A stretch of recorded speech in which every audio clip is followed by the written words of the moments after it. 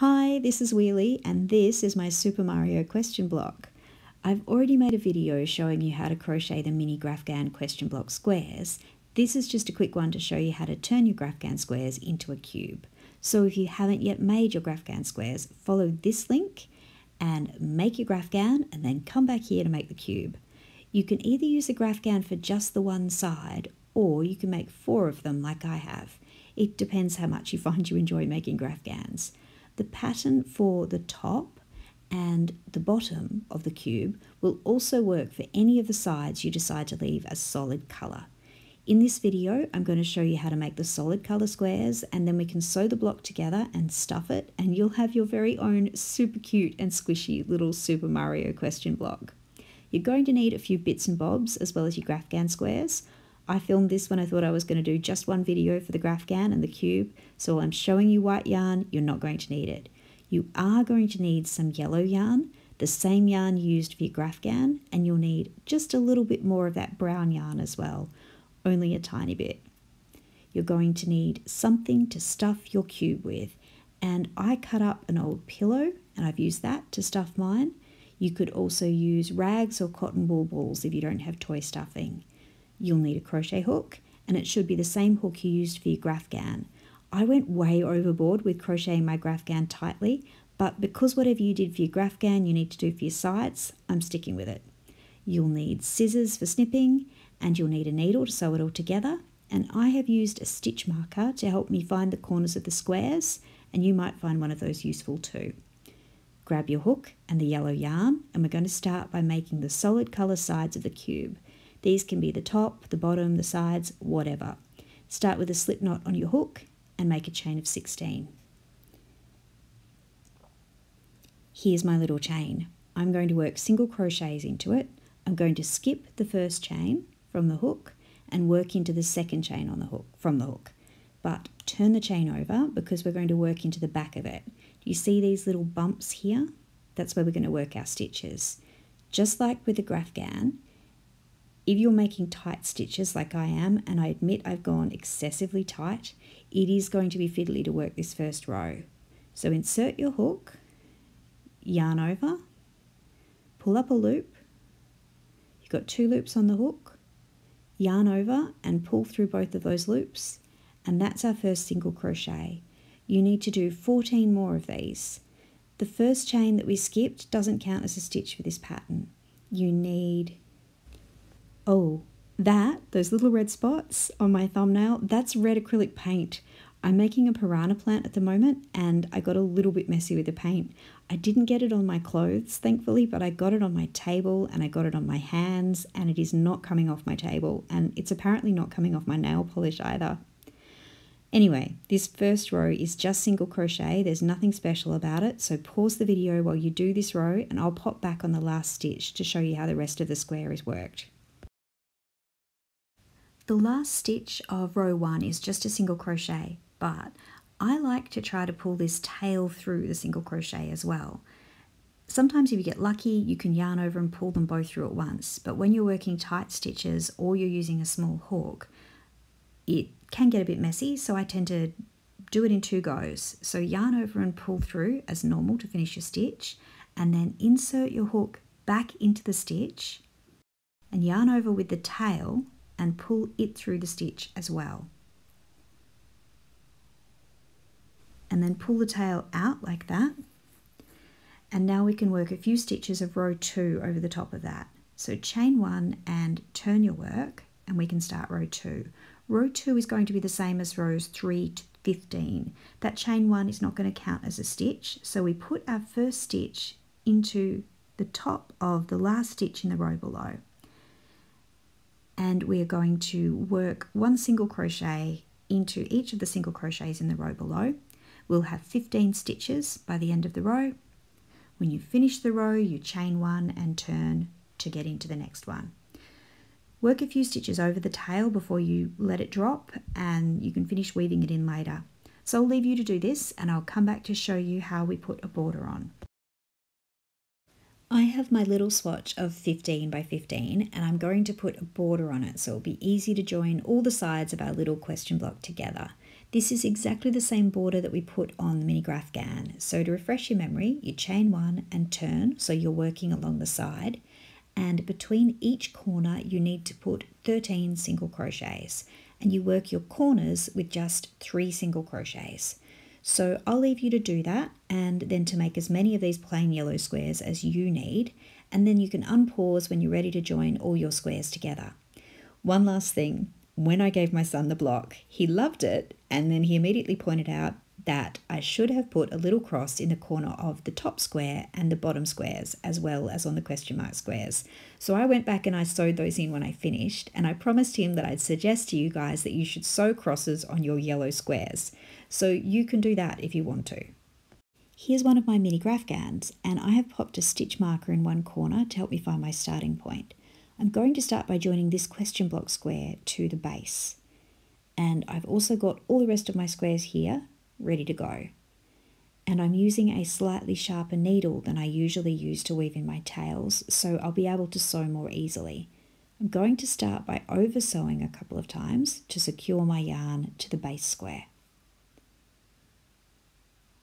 And now I'll take my needle to the other side of the square through this central corner stitch, catching both loops of it. And what I'm basically going to do is whip stitch along the sides of the two squares to join them. So I'm taking my needle into the central stitch of the corner of the question block square, bringing it out to the front side of the square, and then I'll just sew each stitch to the matching stitch on the other square. And if you've got your stitch count slightly out, don't stress, just fudge it a little and it will be fine. And yes, I might just possibly have given myself slightly too much yarn to work with, just slightly. If you don't know how to whip stitch, I'm aware that I haven't given you a good clean visual yet, and that's because I have so much tail to work with at the beginning. So if you keep watching a little bit longer, I'm going to give you a nice clean look at how to whip stitch when I get to working up the sides of the box. So if you're unsure, just watch until you see that before you start your sewing. I've sewn from corner to corner to join the first two squares and now I'll bring in a second question block square and I'll sew it to the base as well. The yarn is currently coming out of the corner of the base and I'm going to sew it straight to the central corner stitch of the new question block square, catching both loops of the stitch, and I'll take the yarn from the back to the front of the square, and that will align the second side not just with the base but also with the first side. So now I can whip stitch and join the second side to the base. I've sewn on the second side and I'm just joining the corners up. I've got both loops of that central corner stitch of the base on my needle and I'm now going to sew it to the corner stitch of the third question block square. I'll take the needle from the back of the square to the front and now it's all nicely lined up with the base and with the side so I can whip stitch it to the base. It's time to attach the fourth side. I've come out of the corner of the base and I'm going into the corner of the new side, taking the needle from the back to the front of the square and then it's just another whip stitch job. I've got all four of my graphghans attached and now I'm going to begin joining the sides together. You'll find that when you bring your sides up, there is a little bit of a gap where all the corners come together and you need to work a few extra stitches there. So I've joined the base to each of the sides, but I'll also need to join the sides corners to each other. So this corner is already sewn to the corner of the base and I'm going to sew it to the corner of this other Graphghan. And I catch both loops of the stitch and I go back into the same corner I started from.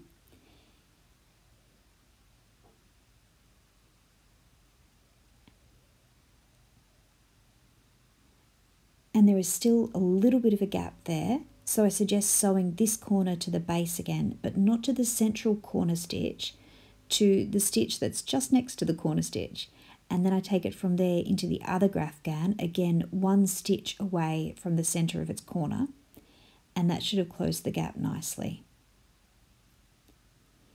The yarn is having a little bit of trouble going through there. Sometimes it does need a little bit of help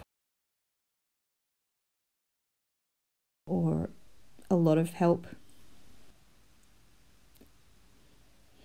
So now I can whip stitch my way up the side of the cube and you can really see the whip stitching now that I've got a more sensible length of yarn.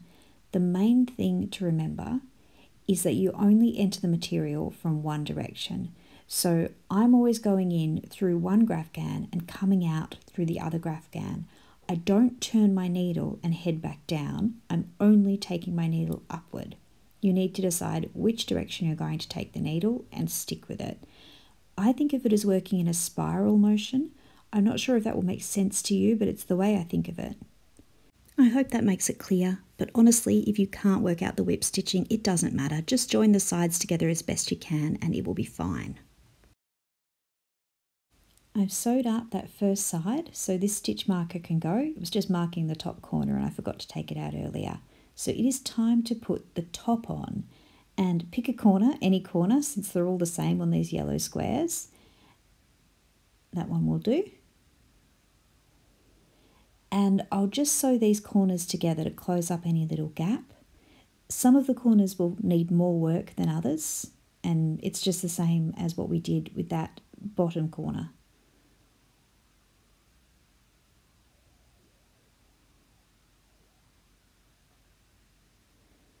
That like it's done it. And now I can whip stitch and join this up. Okay, embarrassing confession.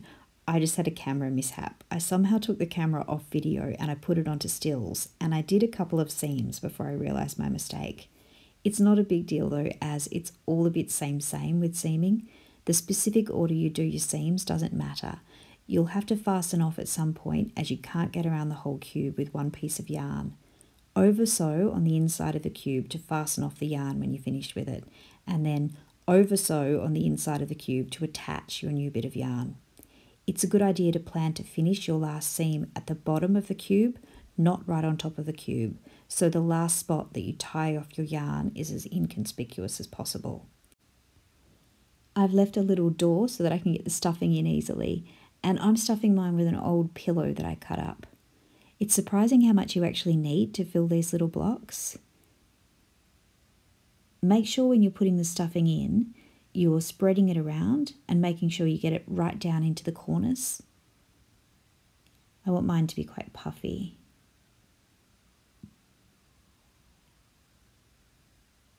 So once you're happy with it, you just need to whip stitch your seams closed and make sure you close up any gaps in that corner